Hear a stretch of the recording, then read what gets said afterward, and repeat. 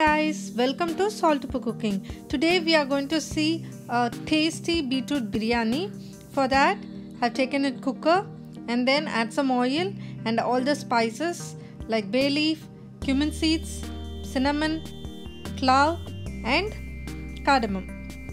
So once it is all fried now we are going to add chopped onions and we are going to saute it till it turns into golden brown color so once it is added just uh, fry it. So now it turns into brown color. Now we are going to add 2 spoons of ginger garlic paste and saute it till the raw smell of ginger garlic paste goes off. Be it any dish when you're adding ginger garlic paste make sure that the raw smell goes off and then add the other ingredients. So now we are going to add the spices so now first i'm adding coriander powder then red chili powder and comes the garam masala and then the cumin powder. So the measurement is of your choice uh, based on the quantity that you're going to prepare.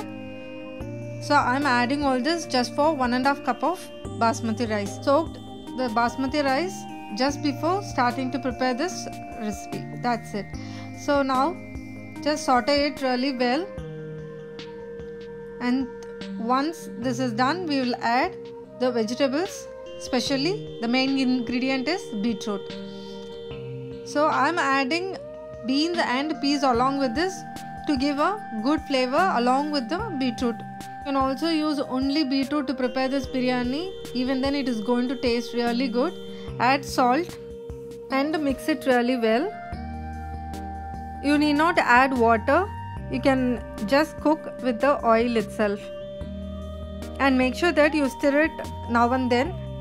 So now it is time for us to add tomatoes. I have taken two tomatoes and grinded it. So now i'm adding the puree of it. After adding the tomato puree mix it well again don't add water right now.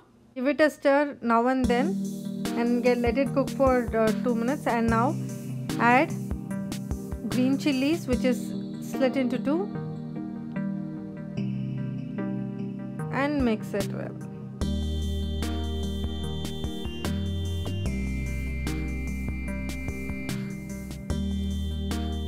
so the veggies and the masala is all cooked well. It's time for us to add water and half cup of basmati rice. I'm going to add 2 cups of water which is like 1 is to 1 ratio plus half cup extra. So once the water is added add half lime juice.